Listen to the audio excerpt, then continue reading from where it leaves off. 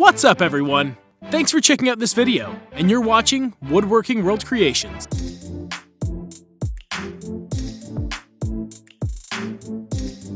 Have you guys seen those awesome and shining wood pendants? Well, it's a fascinating craft, and is currently running in the trend. The good thing about them is the supplies needed to make them are incredibly cheap, and yet the look appears very rich in texture and feel.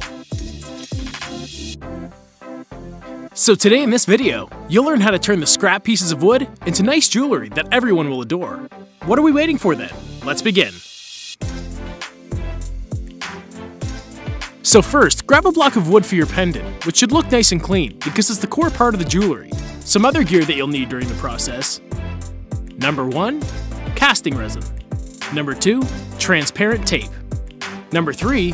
A vise or something else to break the wood. Number 4. A table saw. Number 5. Several grits of sandpaper. Number 6. Belt sander. Number 7. An eye hook. So once you're ready with these supplies, then we can get started.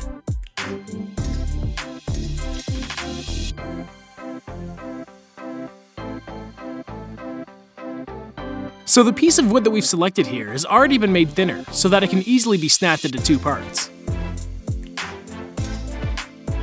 Yes, we will snap this wood into two for making the pendant necklace. To precisely cut the wood into two parts, we've made this little mark here as you can see.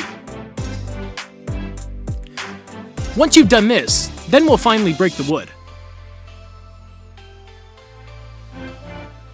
So, we're going to use this vise here, along with these three blocks of wood. Two pieces of these wood will be placed at one side, and the last piece on the other side, to get the good snap.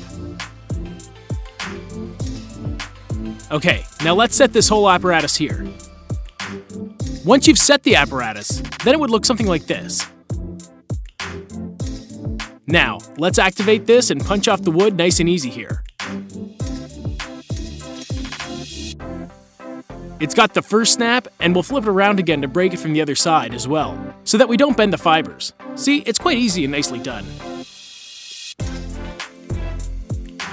Well, if you guys don't have a vise, then you can even make use of a 25 kilogram dumbbell. Wanna see how?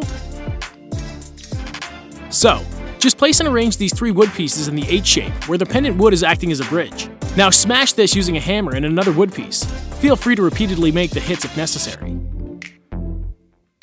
So now you know how to break the wood. Let's play around with resin now. Okay, now it's time to do something creative here. We have two pieces of wood and tape with us, so let's bind them together.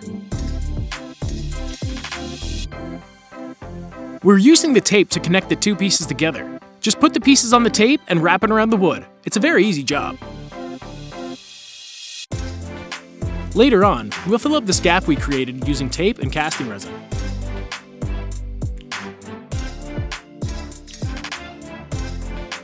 So now, this doesn't look perfect, but don't worry, because we'll sand this block down. If any ripples or imperfections will be there, then Sandy will take care of it. Okay, now let's fill the gap with resin. You can grab a blade and cut a hole around this tape to fill this up with resin. A square cut will be recommended by the way it's been done here. You can grab a blade and cut a hole around this tape to fill this up with resin. A square cut will be recommended, the way it's been done here.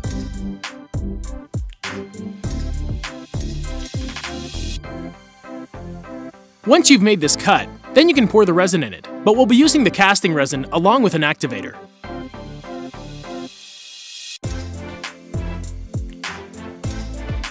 We'll mix these two together in the proportion of 30 mils of resin and 8 drops of activator. So now take a cup like this and pour 30 mils of resin and 8 drops of activator. After that, make sure to mix them thoroughly. If these two don't blend properly, then the solution won't set the way it should. Let's pour this solution now, but we won't use it all in one go. We'll slowly drop the resin so that all the cracks are nicely covered. Do you see this? Once the hard areas have been taken care of, then you can fill in this entire region.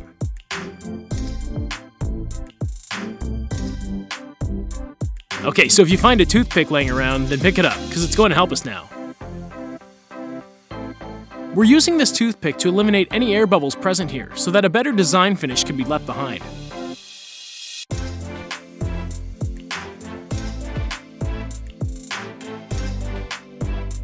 Now wait for one day until the resin becomes hard enough.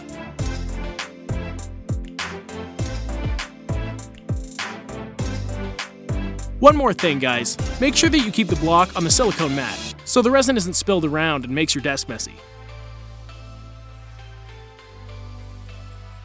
Once the resin is hard enough, then you can remove the tape, because we have to proceed to the sanding part now. Here you can see that a belt sander is being used to polish the block and shape it nice and smooth. Once you're finished with sanding on the belt sander, then you'll achieve the sharp edges and perfect rectangular shape for the pendant. It's looking great, but you know what?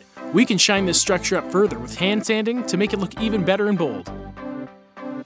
To go with this hand sanding, we'll need sandpapers of 5 grit sizes. Grit size 120, grit size 150, grit size 280, grit size 400, grit size 600. Get yourself ready with these varieties, and once we're done with sanding the block using these 5 different sandpapers, then we'll go to the micro mesh. The micro mesh starts at 1500 and goes all the way down to 12,000 as you can see right here. Get our personal library with over 16,000 wood plans. Link is below in the description. Okay, now let's cut the talk and finish up with the sanding part. We'll first run our block over the five different sandpapers that we've collected. Don't go too rough or too slow. Just keep the movement even and stable while doing the sanding with your hands.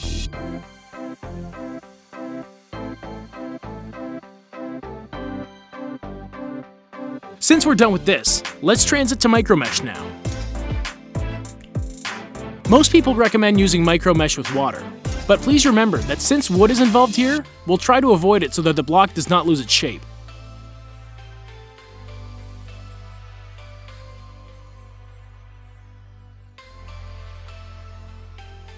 So we're just going dry here with micro mesh, and it would take some time, but all that wait would be worth it.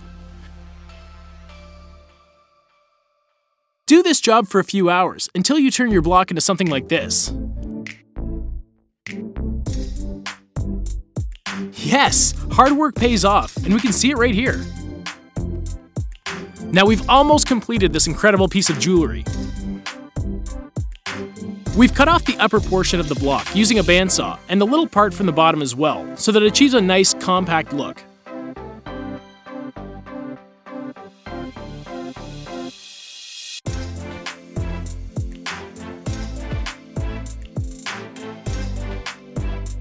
Now, let's put the tiny and shiny eye hook over the top of this beautiful wood pendant to make it usable.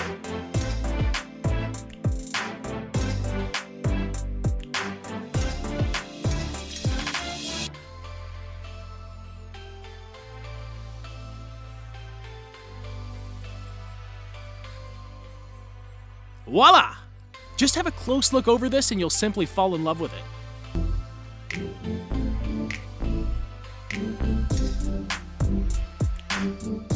Just add the ball or chain of your choice, and it's ready.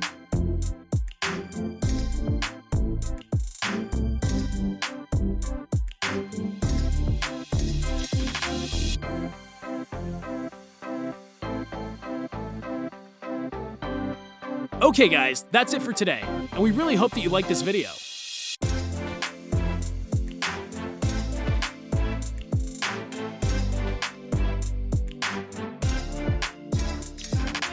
Get our personal library with over 16,000 wood plans. Link is below in the description.